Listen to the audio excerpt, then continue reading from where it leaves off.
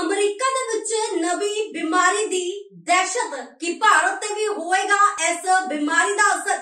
ਜੀ ਹਾਂ, ਤੁਹਾਨੂੰ ਦੱਸਦੇ ਹਾਂ ਕਿ ਅਮਰੀਕਾ ਦੇ ਵਿੱਚ ਇੱਕ ਨਵੀਂ ਬਿਮਾਰੀ ਦਸਤਕ ਦੇ ਚੁੱਕੀ ਹੈ। ਬਹੁਤ ਹੀ ਰਹੱਸਮਈ ਬਿਮਾਰੀ ਦੱਸੀ ਜਾ ਰਹੀ ਹੈ। ਕੀ ਇਸ ਦਾ ਅਸਰ ਭਾਰਤੀਆਂ ਤੇ ਵੀ ਹੋਏਗਾ? ਭਾਰਤ ਦੇ ਵਿੱਚ ਵੀ ਇਸ ਦਾ ਅਸਰ ਫੈਲ ਸਕਦਾ ਹੈ। ਪੂਰੀ ਜਾਣਕਾਰੀ ਦੇਣੀ ਹੈ ਇਸ ਵੀਡੀਓ ਦੇ ਮਾਧਿਅਮ ਦੇ ਰਾਹੀਂ, ਸੋ ਵੀਡੀਓ ਨੂੰ ਅੰਤ ਤੱਕ ਜ਼ਰੂਰ ਦੇਖਣਾ। ਬਹੁਤ ਹੀ ਖਤਰਨਾਕ ਬਿਮਾਰੀ ਹੈ। ਜ਼ਿਕਰ ਹੀ ਹੋ ਗਿਆ ਕਿ ਬੀਤੇ ਦਿਨਾਂ ਦੇ ਵਿੱਚ ਜੋ ਕਰੋਨਾ ਕਾਲ, ਜਿਸ ਨੂੰ ਅਸੀਂ ਕਹਿ ਸਕਦੇ ਸੀ, ਕਰੋਨਾ ਕਾਲ ਦੇ ਵਿੱਚ ਕਰੋਨਾ ਨਾਮ ਦੀ ਬਿਮਾਰੀ, ਮਹਾਮਾਰੀ ਦਾ ਲੋਕਾਂ ਨੂੰ ਕਾਫੀ ਹਰਜਾਨਾ ਭੁਗਤਣਾ ਪਿਆ ਸੀ। ਅਜਿਹੀ ਬਿਮਾਰੀ ਦੱਸਿਆ ਜਾ ਰਿਹਾ ਹੈ ਕਿ ਇੱਕ ਹੋਰ ਦਸਤਕ ਦੇਣ ਜਾ ਰਹੀ ਹੈ। ਕਰੋਨਾ ਦੱਸਿਆ ਜਾ ਰਿਹਾ ਸੀ ਕਿ ਚੀਨ ਦੇ ਵਿੱਚੋਂ ਉਸ ਦੀ ਸ਼ੁਰੂਆਤ ਹੋਈ ਸੀ, ਪਰ ਹੁਣ ਅਮਰੀਕਾ ਦੇ ਵਿੱਚ ਇੱਕ ਰਹੱਸਮਈ ਬਿਮਾਰੀ ਜੋ ਹੈ, ਪੈਦਾ ਹੋ ਚੁੱਕੀ ਹੈ। ਇਸ ਦਾ ਅਸਰ ਲੋਕਾਂ ਦੀ ਜ਼ਿੰਦਗੀ ਤੇ ਦੇਖਣ ਨੂੰ ਮਿਲੇਗਾ। ਦੱਸਿਆ ਜਾਂਦਾ ਹੈ ਕਿ ਇਹ ਬਿਮਾਰੀ ਜੋ ਹੈ, ਕਿਸੇ ਬੱਗ ਦੇ ਕੱਟਣ ਦੇ ਨਾਲ ਹੁੰਦੀ ਹੈ।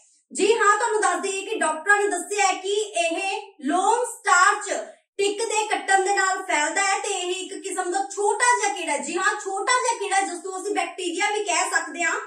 ਉਹ ਕੱਟਣ ਦੇ ਨਾਲ ਇਹ ਬਿਮਾਰੀ ਹੁੰਦੀ ਹੈ। ਡਾਕਟਰਾਂ ਅਨੁਸਾਰ ਜਦੋਂ ਕਿਸੇ ਵਿਅਕਤੀ ਨੂੰ ਇਹ ਕੀੜਾ ਕੱਟਦਾ ਹੈ ਤਾਂ ਉਸਦੇ ਰੈੱਡ ਮੀਟ ਖਾਣ ਤੋਂ ਐਲਰਜੀ ਹੋਣ ਲੱਗਦੀ ਹੈ। ਜੀ ਹਾਂ ਰੈੱਡ ਮੀਟ ਖਾਣ ਤੋਂ ਉਸ ਨੂੰ ਐਲਰਜੀ ਹੋਣ ਲੱਗਦੀ ਹੈ। ਇਸ ਬਿਮਾਰੀ ਦੀ ਸ਼ੁਰੂਆਤ ਹੌਲੀ ਹੌਲੀ ਸ਼ੁਰੂ ਹੁੰਦੀ ਹੈ, ਪਰ ਬਾਅਦ ਦੇ ਵਿੱਚ ਬਹੁਤ ਹੀ ਜ਼ਿਆਦਾ ਵੱਧ ਜਾਂਦੀ ਹੈ। ਜਿਵੇਂ ਕਰੋਨਾ ਕਾਲ ਦੇ ਵਿੱਚ ਵੀ ਦੇਖਿਆ ਜਾ ਸਕਦਾ ਸੀ।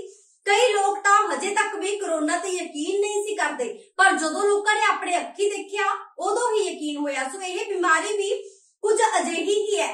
ਇੱਥੇ ਤੁਹਾਨੂੰ ਦੱਸਦੀ ਹੈ ਕਿ ਡਾਕਟਰਾਂ ਦਾ ਇਹ ਵੀ ਕਹਿਣਾ ਹੈ ਕਿ ਲੌਨ ਸਟਾਰ ਟਿਕ ਦੇ ਵਿੱਚ ਇੱਕ ਖਾਸ ਕਿਸਮ ਦਾ ਸ਼ੂਗਰ ਹੁੰਦੀ ਹੈ ਜਿਸ ਨੂੰ ਅਲਫਾ ਗੈਲ ਕਿਹਾ ਜਾਂਦਾ ਹੈ ਤੇ ਇਹ ਰੈੱਡ ਮੀਟ ਦੇ ਵਿੱਚ ਪਾਇਆ ਜਾਂਦਾ ਹੈ, ਕਿਉਂਕਿ ਇਹ ਕੀੜਾ ਕੁਝ ਜਾਨਵਰਾਂ ਨੂੰ ਵੀ ਕੱਟਦਾ ਹੈ ਤੇ ਇੱਥੇ ਹੀ ਮਨੁੱਖਾਂ ਨੂੰ ਵੀ ਇਸ ਤੋਂ ਐਲਰਜੀ ਹੁੰਦੀ ਹੈ। ਸੋ ਜੇਕਰ ਤੁਸੀਂ ਘਰ ਦੇ ਵਿੱਚ ਕੋਈ ਜਾਨਵਰ ਪਾਲਨੇ ਨੇ ਤਾਂ ਉਹਨਾਂ ਨੂੰ ਵੀ ਇਸ ਬਿਮਾਰੀ ਦਾ ਅਸਰ ਹੋ ਸਕਦਾ ਹੈ। ਤੇ ਇਸੇ ਗੱਲ ਕਰਕੇ ਜਦੋਂ ਇਹ ਇੱਕ ਬੈਕਟੀਰੀਆ ਕਿਸੇ ਨੂੰ ਕੱਟਦਾ ਹੈ, ਤਾਂ ਉਸ ਦੇ ਵਿੱਚ ਬਿਮਾਰੀ ਆਉਂਦੀ ਹੈ, ਐਲਰਜੀ ਹੌਲੀ ਹੌਲੀ ਫੈਲਦੀ ਜਾਂਦੀ ਹੈ ਜਿਸ ਦਾ ਕੋਈ ਇਲਾਜ ਜਿਹੜਾ ਹੈ, ਹਲੇ ਤੱਕ ਡਾਕਟਰਾਂ ਨੂੰ ਨਹੀਂ ਮਿਲਿਆ। ਦੱਸਦੇ ਕਿ ਅਜਿਹੇ ਦੇ ਵਿੱਚ ਇਹ ਸਵਾਲ ਉੱਠਦਾ ਹੈ ਕਿ ਭਾਰਤ ਦੇ ਵਿੱਚ ਇਸ ਬਿਮਾਰੀ ਦਾ ਸਾਹਮਣਾ ਕਰਨਾ ਪੈ ਸਕਦਾ ਹੈ। ਜੀ ਹਾਂ ਮਾਹਰ ਡਾਕਟਰ ਜੁਗਲ ਕਿਸ਼ੋਰ ਅਨੁਸਾਰ ਭਾਰਤ ਦੇ ਵਿੱਚ ਅਜਿਹੇ ਕੀੜੇ ਘੱਟ ਹੀ ਪਾਏ ਜਾਂਦੇ ਨੇ। ਇਹ ਜ਼ਿਆਦਾਤਰ ਅਮਰੀਕਾ ਤੇ ਮੈਕਸੀਕੋ ਦੇ ਵਿੱਚ ਪਾਏ ਜਾਂਦੇ ਨੇ। ਇਸ ਦੇ ਲਈ ਭਾਰਤ ਨੂੰ ਜ਼ਿਆਦਾ ਖਤਰਾ ਨਹੀਂ ਹੈ, ਪਰ ਫਿਰ ਵੀ ਸਾਵਧਾਨੀ ਜਿਹੜੀ ਹੈ ਜ਼ਰੂਰੀ ਹੈ। ਸੋ ਤੁਸੀਂ ਵੀ ਧਿਆਨ ਜ਼ਰੂਰ ਰੱਖੋ, ਆਪਣੇ ਅਮਰੀਕਾ ਦੇ ਵਿੱਚ ਰਹਿੰਦੇ ਜਾਂ ਫਿਰ ਮੈਕਸੀਕੋ ਦੇ ਵਿੱਚ ਜਿੰਨੇ ਵੀ ਜਾਣਕਾਰ ਨੇ ਉਹਨਾਂ ਨੂੰ ਇਸ ਬਿਮਾਰੀ ਦੀ ਜਾਣਕਾਰੀ ਜ਼ਰੂਰ ਦੇ ਦਿਓ ਤਾਂ ਜੋ ਇਹ ਉਹ ਇਸ ਬਿਮਾਰੀ ਤੋਂ ਬਚ ਸਕਣ।